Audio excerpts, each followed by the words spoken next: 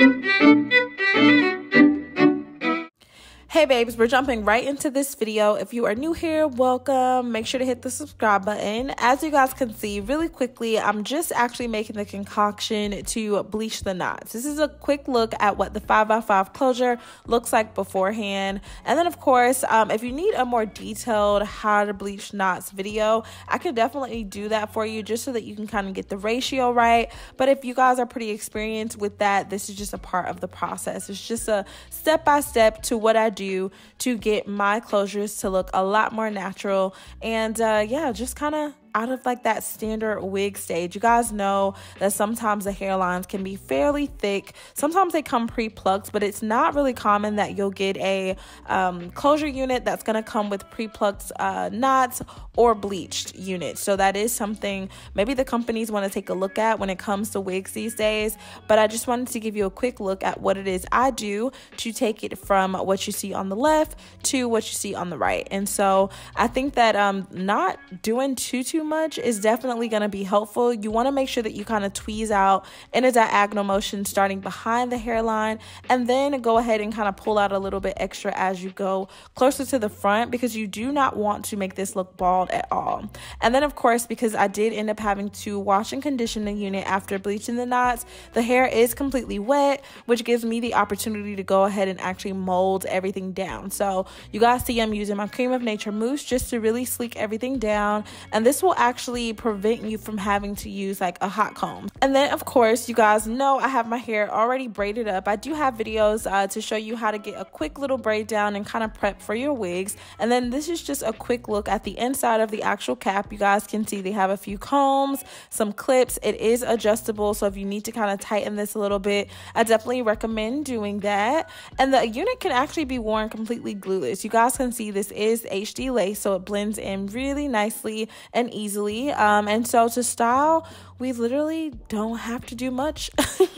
I am going to show you a better way to kind of secure everything. Um, I'm not really sure what made me want to kind of cut off the flaps in this. I, I don't know. I've, I don't usually do that, but I did want to kind of get a better look at the hairline. And then, of course, I went ahead and just cut off the lace just to really get a look at how this would uh, kind of sit on my head without actually attaching anything or applying any glue or any gotta be glue spray or just any adhesives and I did like the way it looks, but I kind of wanted to take it up a step further. So, you guys know typically I like the baby hair look, so I'm going to go ahead and just kind of add that uh, to the style now.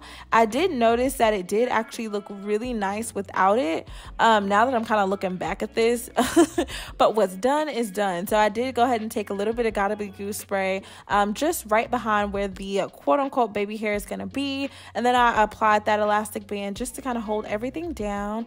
And in the meantime, meantime, I'm going to go ahead and actually just do some really nice, chunky, and wavy um, wand curls. Yeah, so um, this hair is definitely able to hold a curl. I ended up wearing this unit for a little bit of time and I did not have to refresh the curls. I was able to kind of just allow them to fall naturally. And of course, it's going to fall in a wave.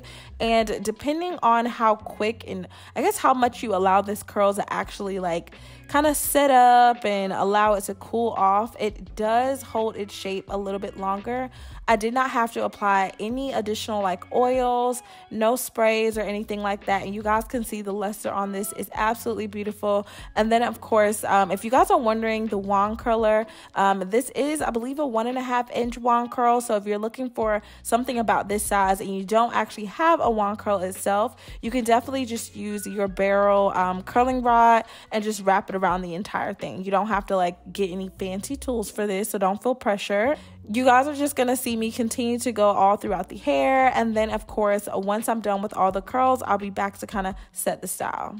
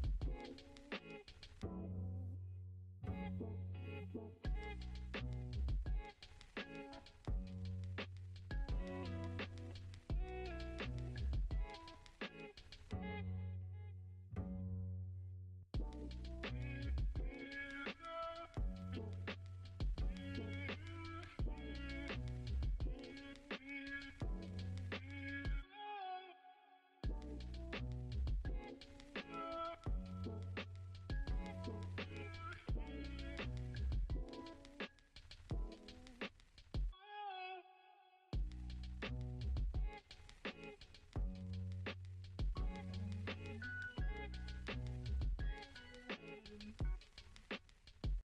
All right, guys, so now that we are done with that, I'm to go ahead and just kind of pull off the elastic band. I did go ahead and take the hot comb just to really make sure that everything was kind of laid down, especially in the front. Um, and then from here, I'm to go ahead and just kind of trim off and create a little bit of shape to the hairs on the edges. And then I'm to take my edge brush with a little bit of the Gotta Be glue spray. And I actually sprayed that because I didn't want to spray it directly onto my forehead. Um, and I kind of wanted to keep the softer, hmm, softer curl you can say. and so I did go ahead and just apply a little bit of that, taking some of my Cream of Nature Argan Oil spray just to add a little bit of sheen all throughout the hair. And then, of course, once we have that smoothed in, this is what the curls look like without being pulled apart. But I am going to go through with my fingers just to kind of maneuver things the way I want it to be. And then, of course, if you want a larger wave, go ahead and just take your uh, paddle brush um, which I find to be really, really helpful because you can see how uniform the curls are, especially if you continue to go in one direction the entire way. If you decide to go back and forth between the um, wand curls and curl in one direction and then against that same direction, you will get even prettier curls um, than this. So let me know if that's something you guys are want to see because, of course, there's different types of waves going on. But yeah, this one's just kind of soft and effortless, and you guys can see. You can pull this apart, make it bigger if you want to, but I kind of wanted to keep its form. All right, and then of course, just finishing everything off with a little bit of hairspray just to get rid of some of the flyaways, but nothing too, too crazy.